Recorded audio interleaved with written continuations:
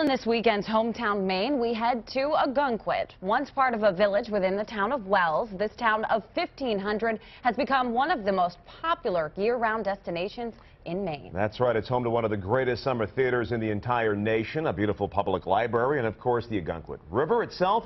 When people say they travel to Maine to see its beautiful coast, look no farther than a little beautiful spot here in town. Let's head to Ogunquit now for this weekend's Hometown Maine. Ogunquit is simply referred to as a beautiful place by the sea. Between its charming little downtown and that seaside gem known as Perkins Cove, it certainly lives up to that very billing. There is so much to do and see in relatively such a small place. Geographically, Ogunquit is only 4.2 square miles, but there is a mile of that town that really is the embodiment of all things Maine and our beautiful rocky coast. It's called the Marginal Way Walking Path. About 1925, uh, this gentleman, Josiah Chase from York, a neighboring town to the south of us, uh, deeded to the town about, oh, about a mile or so of walkway. And uh, so since 1925, we've had this beautiful walkway. The mile and a quarter path runs from Perkins Cove to what is known as Little Beach, attracting tens of thousands of visitors year-round.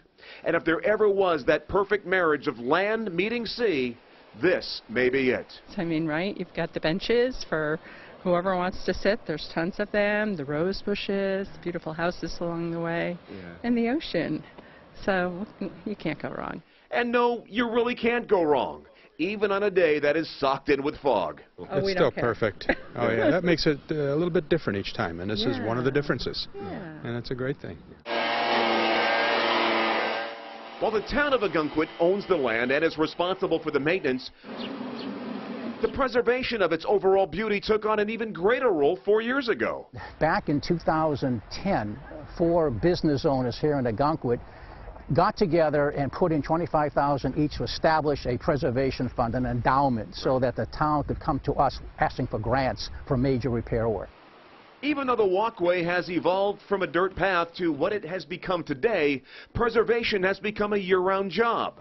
Storms, erosion, invasive vegetation remain the biggest threats to its upkeep. Today, more than 1,200 people help support funds for the trail's upkeep, making it a go-to destination for people from all over the world. This couple from Florida, for example, celebrated their 20th and now, this year, their 25th wedding anniversary by walking this very path. So we'll see you back in five years for another anniversary walk. You will do. Well, may well be. we were just here actually two years ago, oh, too. Were? Okay. So, mm -hmm. Very this, good. This is one of our favorite places to come. It's just so beautiful. The trail will soon celebrate its 90th anniversary in what may be one of the most beautifully accessible walks in all of Maine. And we call it a gem or a jewel because it is unique.